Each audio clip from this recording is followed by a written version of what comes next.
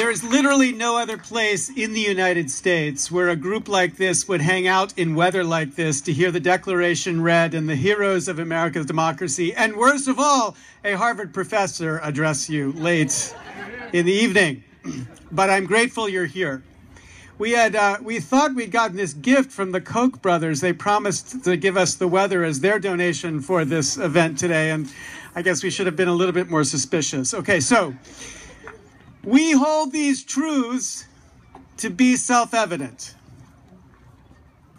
The man who penned that declaration was a genius.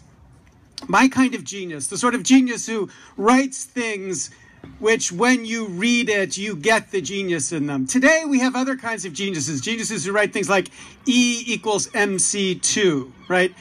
That genius, they say that's genius, but it doesn't quite pull in the same way as the words of Jefferson. But there is one thing that that genius, Albert Einstein, is said to have said. What he said was the definition of insanity is doing the same thing again and again and again, but expecting something different to happen. Now, I love that quote. That is genius. I learned then that Albert Einstein didn't actually write that quote, which makes me very sad because it would be the one genius thing that Einstein said that I actually understood. But here it is. Whether by Einstein or not, there is genius in that story. And it reminds me of where we are in American politics right now because we've entered the happy time of American politics. You know, every four years, for about a year, we believe something is possible.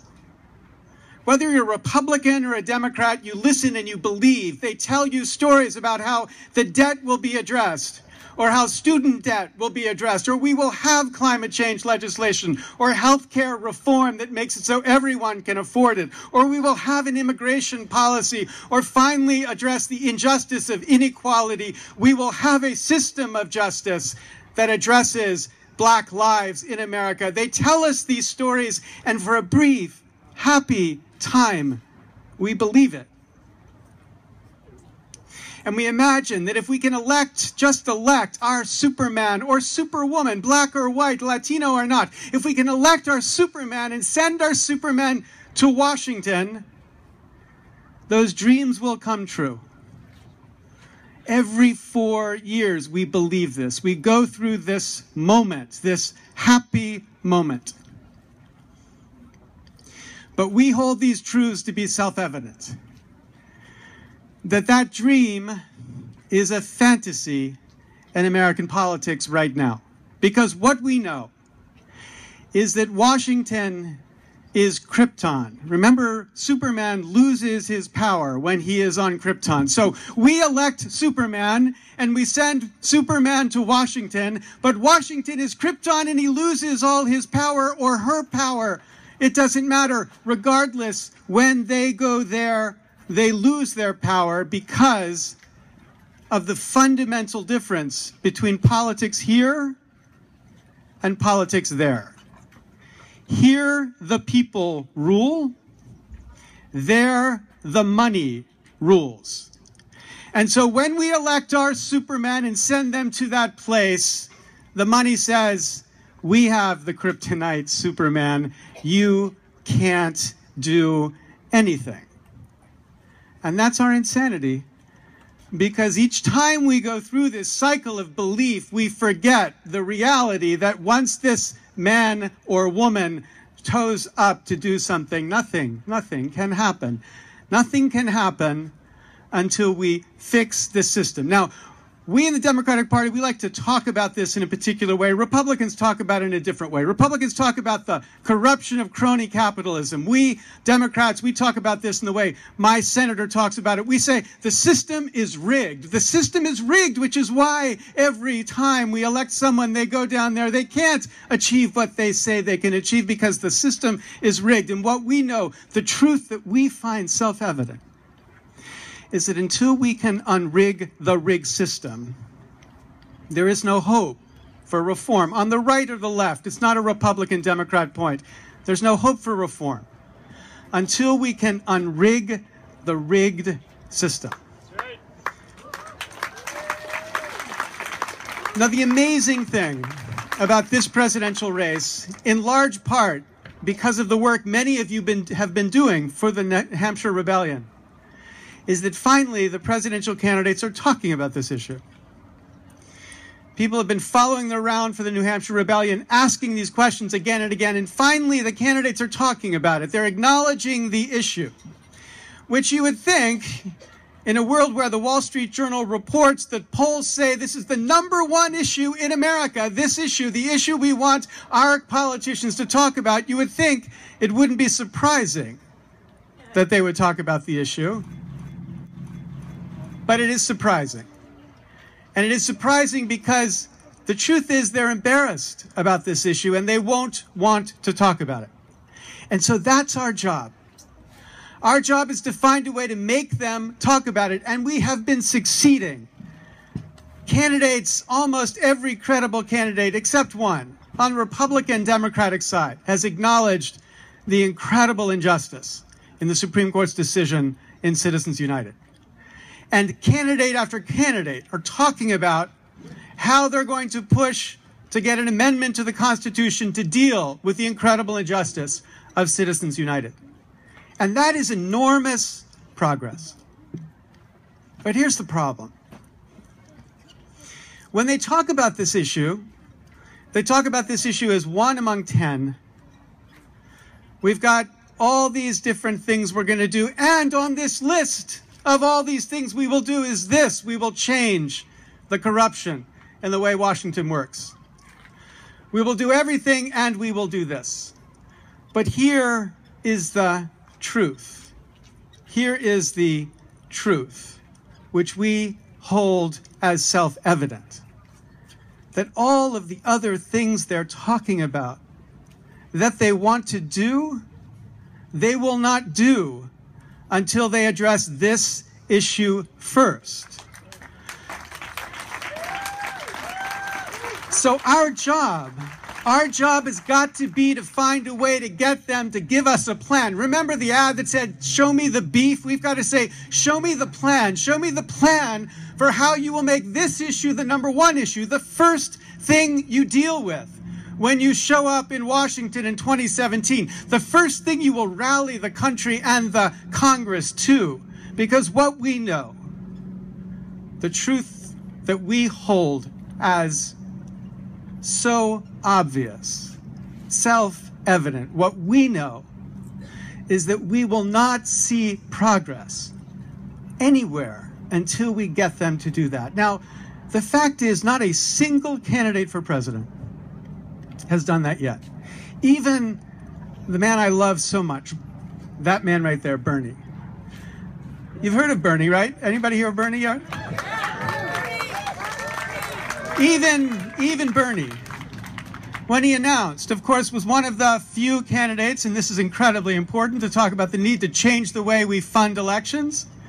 But he said, in the long run, we will change the way we fund elections. And that made me want to say, but Bernie, what are you going to be doing in the short run? Because in the short run, nothing gets done until you do what you want to do in the long run. In the long run, we're all going to be dead. Well, not all of us We'll be gone, and we will have left for them a government and a nation and a series of problems that they cannot begin to address because we have not solved the problem on our time, the problem that we caused on our time. So this has got to be our cause to make this the first issue they talk about and to give us the plan for how they will get it addressed. Now that sentence, we hold these truths to be self-evident is followed by a sentence which many people find hard to credit. Indeed, in the reading of the Declaration of Independence, it had to be amended a little bit. That sentence is followed by All men are created equal. When you think about that sentence, when it was uttered, you think, what the heck could that have meant? Right? There was one state in the nation where blacks were free in 1776, one state. In the rest of the country, slavery was still enforced. It was practiced in the South, but it was enforced throughout the country. Women not only could not vote, they could not own property independent of their husband. In that context, utter the words, all men are free, makes you kind of think, well, geez, maybe they had politicians back then too, because it sounds so deeply implausible. But I am a deep believer in the truth of what the Declaration said. The truth.